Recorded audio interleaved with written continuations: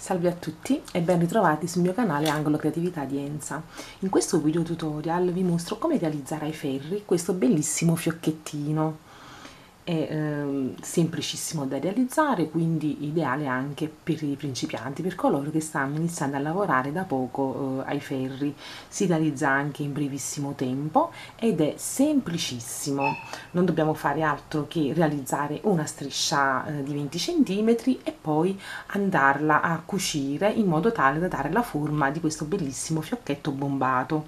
Ideale per poter decorare qualsiasi cosa. Possiamo anche realizzare delle bellissime mollettine possiamo possiamo applicarle a dei fermacapelli, possiamo applicarle a delle borse, a delle magliette, poi in base al filato che voi andrete ad utilizzare eh, si determinerà poi la grandezza eh, del fiocchetto. Se utilizzate un, fi un, filato sottile il fiocchetto verrà più piccolo, mentre invece se utilizzate un filato più doppio um, uh, logicamente il fiocchetto verrà uh, più grande. Allora io per realizzare questo fiocchetto ho utilizzato un filato che andrò a lavorare con dei ferri numero 3,5, ce ne occorre veramente veramente pochissimo quindi è un progetto ideale anche magari per smaltire eh, quei filati in più che ci avanzano da altri lavori.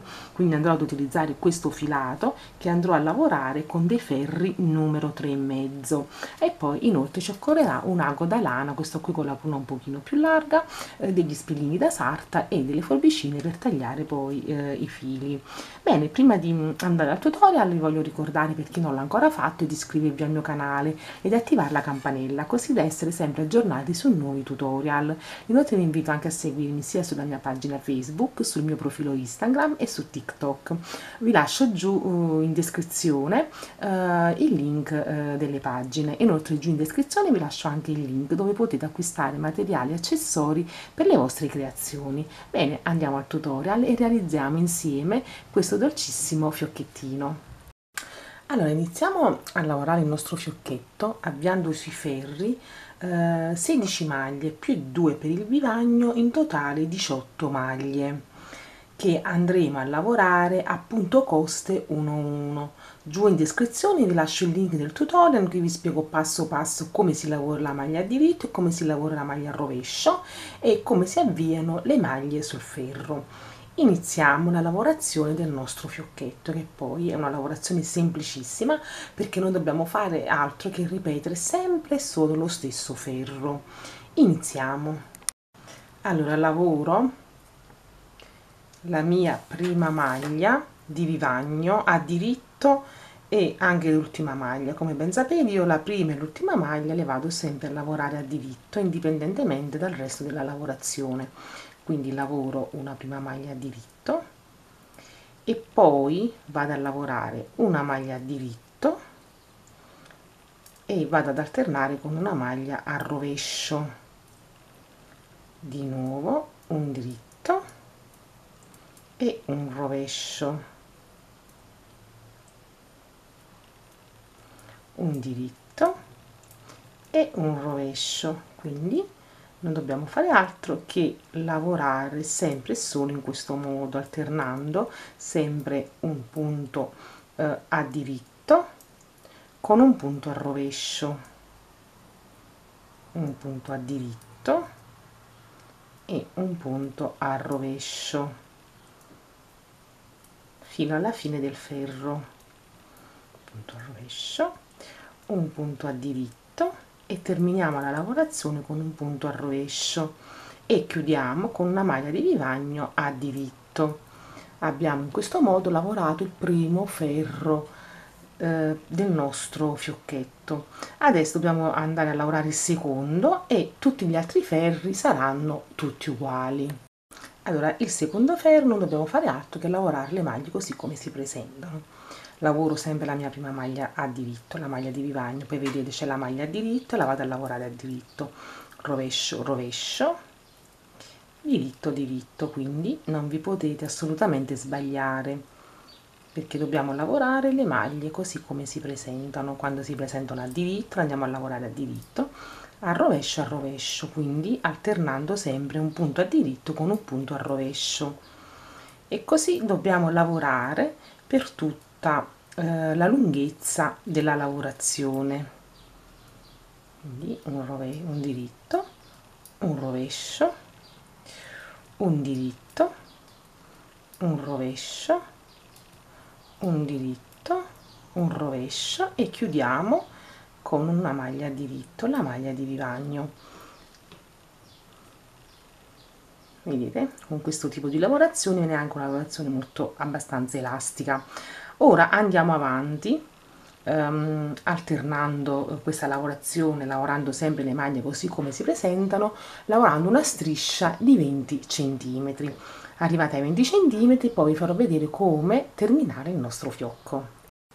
Bene ho lavorato la striscetta per 20 centimetri appunto coste 1,1 adesso andiamo a chiudere le maglie che stanno sul ferro allora andiamo a chiudere le maglie già come ho fatto vedere in altri tutorial in questo modo lavoro una maglia diritto lavoro un'altra maglia diritto e poi vado ad accavallare la prima maglia che abbiamo lavorato sulla seconda così.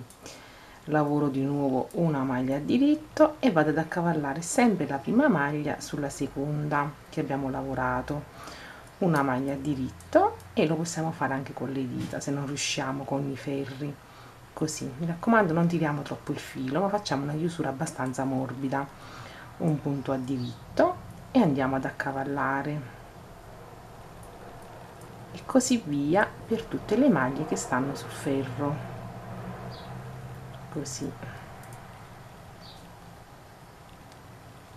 ripeto lo possiamo fare sia con il ferro che con le dita. Come vi è più comodo così andate a chiudere. L'importante è fare sempre una chiusura abbastanza morbida altrimenti se tiriamo il filo poi la chiusura tira e poi non ci troviamo con l'altra eh, estremità. Quindi vado a chiudere tutte le maglie in questo modo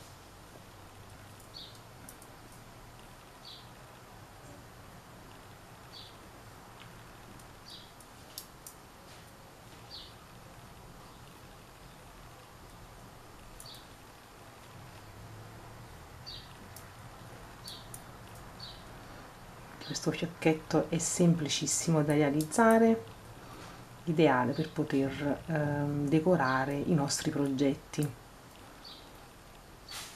Vado a chiudere la mia ultima maglia. A cavallo così tiro e vado a tagliare il filo lasciando un po' di codina in più perché poi ci servirà anche per cucire. Lasciamo un po' di filo facciamo passare la codina attraverso l'asa la cosa da chiudere bene. E ora proseguiamo con la cucitura. Allora andiamo a ripiegare la striscetta su se stessa. Non dobbiamo rispettare un dritto e un rovescio perché la lavorazione che abbiamo eh, realizzato è una lavorazione reversibile uguale sia per il davanti che per il dietro. Se voi magari eh, fate una lavorazione che, una, che ha un diritto un rovescio allora la parte a diritto la dovete tenere verso di voi così che andando a piegare va all'interno. Quindi una volta che andiamo a piegare facciamo combaciare bene le due estremità e in questo modo qua andiamo a mettere qualche spillino per fermare bene le due parti che poi andranno cucite insieme. Quindi se mettiamo qualche spillino la cucitura poi ci risulterà essere più semplice e più precisa.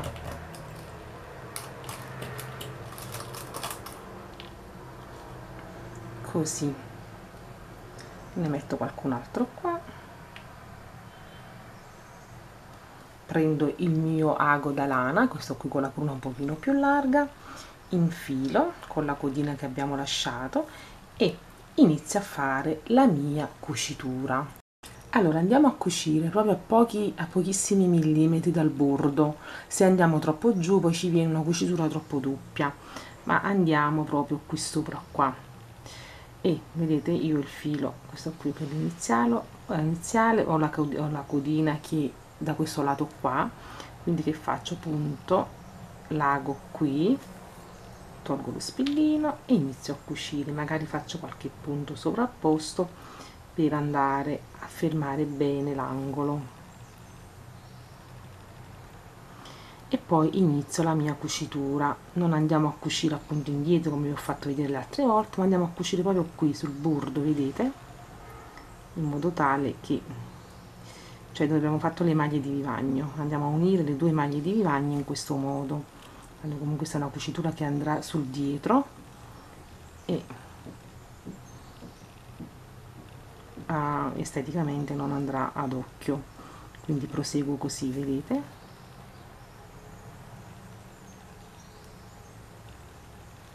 Vado ad unire proprio le maglie di vivagno le due maglie di vivagno che abbiamo fatto all'inizio e alla fine della lavorazione così. E proseguo ad andare avanti a cucire in questo modo fino alla fine. Noi ci vediamo un pochino prima di terminare. Allora una volta cucito il dietro e girato sul diritto vi ripeto non dovete fare una cucitura chissà di che precisione perché ora andremo si è sfilato l'ago vabbè dopo andrò a rinfilare allora io qua ho terminato facendo qualche punto sovrapposto che poi alla fine non ho fatto più andiamo a fare insieme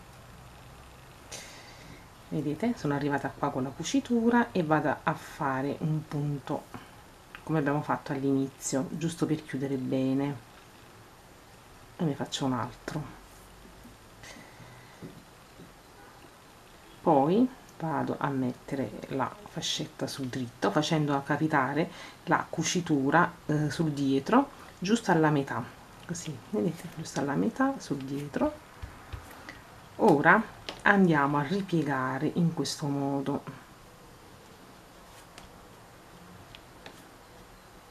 Faccio così. Piego prima su se stesso così. E poi vado a ripiegare queste estremità in questo modo. Così. E con l'ago e il cotone che abbiamo lasciato eh, dietro in sospeso andiamo a dare qualche punto. Aspetta ve lo faccio rivedere. Ora con la camera davanti. Allora abbiamo fatto capitare la cucitura sul dietro alla, giusto alla metà ehm, del fiocco. Vado a ripiegare il fiocco in doppio così lo vado a ripiegare in questo modo. Poi riporto queste due estremità sul dietro così. E con l'ago e il filo andiamo a dare qualche punto per fermare il tutto. Facendo attenzione a prendere tutte le parti altrimenti poi non ci troviamo. Ecco qua. Questa è la parte un pochino più impegnativa però semplicissima. Dobbiamo solo vedete? Ecco fatto. Quindi do ancora qualche altro punto per fermare il tutto. Così. Una volta che abbiamo eh, unito magari se volete potete ancora dare qualche punto però andiamo ora con il filo in avanza. Me per troppo ora è avanzato un, bel, un pochino. Andiamo a girare tutto intorno così. Io ora prenderò altro filo.